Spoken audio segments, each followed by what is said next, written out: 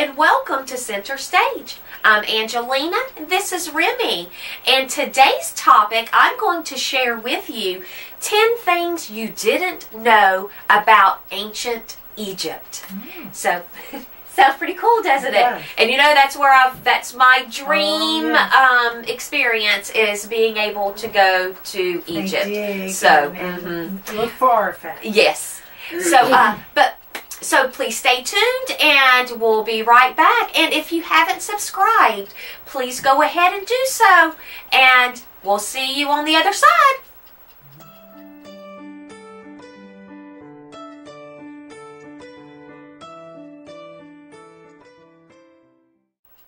Welcome back. And so I am going to be sharing with you 10 things you may not that you may not know about ancient Egypt. And so we all know Egypt is famous for, of course, the pyramids, the mummies, and the golden treasures. But do we really know about ancient Egypt? And I found some of these very fascinating. I was not aware of. So, the first one, they did not ride camels. Ah, And you know, because they're you know, portrayed doing that right? every movie. Every movie shows them riding camels, Ah, ah. and you know, and although they used them, but they they they really never rode them as you know for transportation or whatever. Right. But um, but they were not regularly used for transportation. But what they did use for transportation was donkeys and boats. Because, you know, Egypt being on the Nile, the Nile was just like a roadway.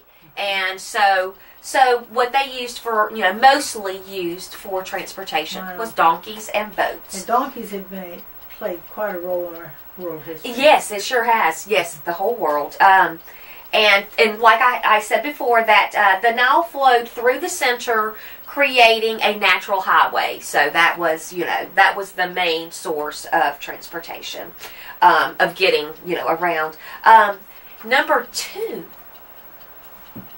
Not everyone was mummified. Oh, wow. And which, and I kind of knew. I mean, not everyone was mummified, but I thought a great majority of of Egyptians did because of their, um, you know, it was you know because of their Spiritually. right, right, and it you know, and that being a you know very big thing, but in rea- in, in actuality, um, because you know, uh, it was a very expensive and time-consuming process, and for that reason, um, that it was really reserved for the wealthy, you know, members of society. So the- only the wealthy, Right. you know, could you know really afford to invest that kind of money and time in in that practice. So interestingly, um, we know that, that the wealthy, but also the leaders of the, the, the you know, I mean, the people who were leading, uh huh. you know, they had these huge, whatever you call them, funerals for them. You Mhm. know, the leaders Uh-huh. when they died. Uh huh. And I always thought that that's how it was. Uh But also just any wealthy person. Mm-hmm. So we can assume then by that, um, as a little aside, that all the mummies we find, uh, They're all they're all wealth. a bunch of rich folks. They were. They were the Okay. wealthy. They There we definitely go. were the the top social the standing. echelon of society. Yes. Uh, but the vast majority of the Egypt, of Egyptians were just bo- uh, born. They were buried in uh, uh, they were buried in the desert in just simple pits. right. So, but uh, so then on to number three. The living shared food with the dead, which I did know about. Yeah, this think I know a practice. little bit about that. Um, but uh, but tombs were designed um, really as a, as uh, an eternal home, and so Well tomb, put. huh? Well put. That, Yeah. really Mhm. And tomb cha- uh, the tomb chapel allowed families and other you know friends of families and for priests to leave offerings regularly. And so there was a special room within the tomb that was set up for the purpose of, you know, um, uh, you know, leaving offerings to the gods, you know. Now my question is, Mhm. what did they think when they were bringing more food, and the food that they brought before had not been touched? Well, I, I believe they thought that that. Um, well, they knew it hadn't been eaten because I mean, this is in a tomb, so I mean, you know, they're not It's just an awful. But it, I, I believe they think that, that that that they thought that it went on to the afterlife, like it still appeared in that reality, okay. but it was. I mean, th- it, was like the the same death, reason yeah. that that right, you know, that because they thought um, that you know that it was kind of kind of like another dimension Right, almost, right. you know, Mhm. and That so. sense, yeah. Or that's my belief. I, you know, No, I don't know sense. if that's my understanding. I don't know if that's you know entirely correct. Um, but okay, off to number four. Women had equal rights with men, and that um, I had always heard that with you know so, uh, some different ma- material that I've read in the past. Um, but which is but is still very surprising because during that time period, um, you know, really, you know, all over the world and even still today, women have very few rights over men or even just you know equal to men. And but in you know you know in Egypt the Egyptian women had equal rights with men both had equal um, social status in the eyes of the law so a woman could bring a case before law and you know just like a man and um, and women could own earn buy and sell and inherit property That is unbelievable. Mhm. no idea that that was. The and thing. they didn't have to have a male guardian uh, if they were widowed or divorced. Which, um, which you know, you, I, I know a lot of that went on, um, you know, in in the past where it was required, and, and even in some, you know, religions, even today, that is a requirement. Um, but they didn't have to have that, or they they didn't do that.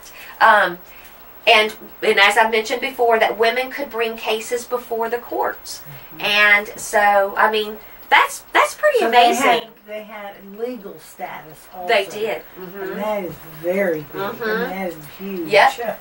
and you know, and just the you know, them having the the right to inherit. I mean, because Oh, I know. you it. know that was unheard of. and Mhm. I cannot believe it was. that. hmm So yeah, I was I I, I was fascinated Oh, with with that uh, bit of information. But okay, number five, um, scribes were rarely written in hieroglyphics. Oh, really? Uh huh. And I thought that was Oh, the writing. Uh, you know that that was their writing. That wa- thought you it know, was too. mhm. but it was rarely used. And they go on to say that you know they use the alphabet? well, um, it's it's beautiful to look at, but it's very very time consuming to create. And for that reason, it was reserved for the most important text. So so this was used on tombs, temple walls, and to record achievements. So um, from different rulers, you know, they would, you know, um, but uh, but yeah, I, I I just always assumed that that was the only language Mm-hmm. that they written language that Oh, they yeah. used, uh, you know, but it was not. Um, and um, interesting also, only about ten percent of the population was literate. Ten percent. 10%. Mm-hmm. Wow.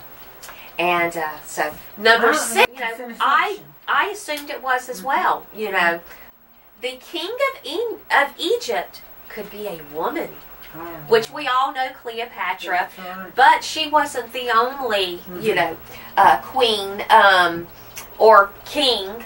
Uh, but ideally, the king would have been um, the son of the previous king. Um, but that wasn't always possible. Uh, so there have been at least three occasions that women have ta- a woman has taken the throne Ah, something else. in Egypt. Mm-hmm. So then, number seven. Few Egyptian men married their sisters. And which I knew a lot of ancestral, you know, things, you know, uh, went on during that time. Um, but uh, the marriage, but that type of marriage was not common outside of the royal family, and they mainly did that to keep the bloodline pure, you know. So, but um, but it was a practice during that time.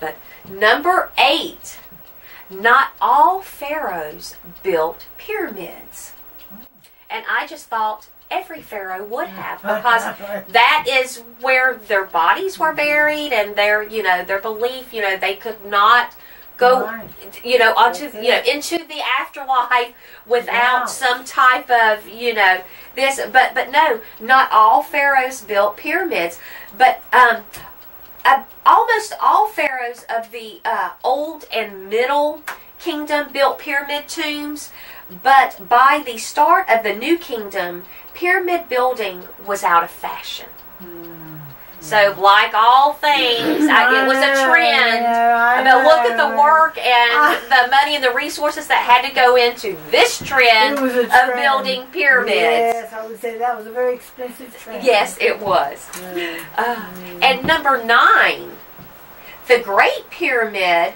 was not built by slaves. Really? Mm-hmm. And archaeological evidence indicates that the Great Pyramid was built by a workforce of 5,000 permanent workers and salaried employees and up to 20,000 temporary workers. And the, the, all the workers were free men. Wow. Mm-hmm. So they So must have just been given a wage.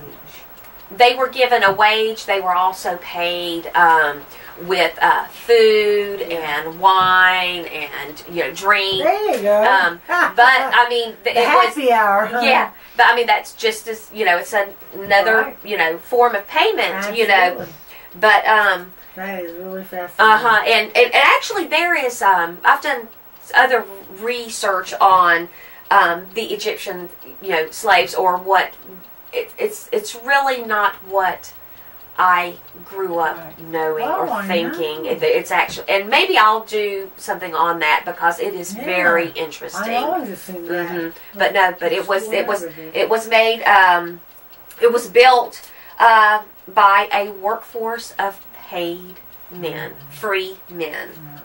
So so number ten, our last one. Cleopatra may not have been beautiful. Oh my.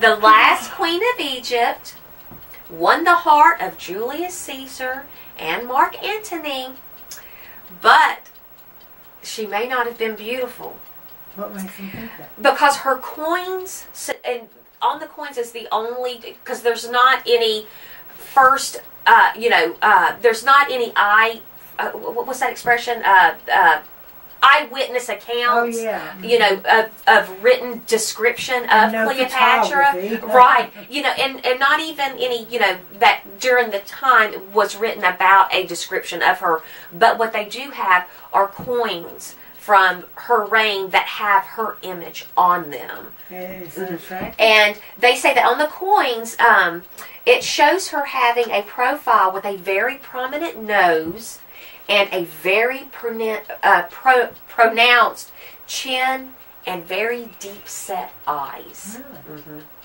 So, but who knows? Those may that may have been qualities that were That's favored right, you know, during she- that time, and maybe we just, you know, perceive them as not being a, Right. an attractive look. But, you know, You know, the thing is, is that um, you're right. Things change, mhm. but um, so our ideal of beauty truly is. it's subjective. It is. hmm There, I will just add this. There was this, a wonderful. Um, uh, I guess it was the Rod Sterling uh, Rod Sterling's show in Twilight Zone, Mhm. where this woman, you know, keeps having these surgeries to make her better looking, Mhm. and then all of a sudden you see the people that are there. Have you seen that one? Yeah, I have. Yes, I do remember that one. and the girl is beautiful, But, But she, right. different than Mhm. they are, and they Uh-huh. don't see the beauty. Mhm. That is a great, Yes. great one to watch. Uh huh. It is. It's going for children to see Uh-huh. it even because Uh-huh. it's really It is. know, It, it's it's just a, it's a perception, and yeah. You know, perceptions are guided, Mhm. but still it's us. Mhm. you know. Hmm. yep, and it's subject to interpretation. Absolutely. So it's you know, Golly.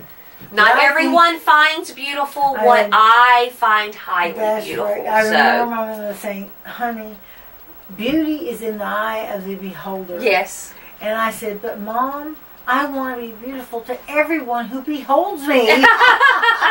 I used to tell her that as a kid. Uh-huh. I want to be beautiful to everybody Mhm. who beholds me. She Yep. said, uh, she just kind of rolled her eyes at that. but um, well, we appreciate you joining us today, and have a great day. And we'll see you next time. Oh, and please do not forget to subscribe, and we'll see you next time.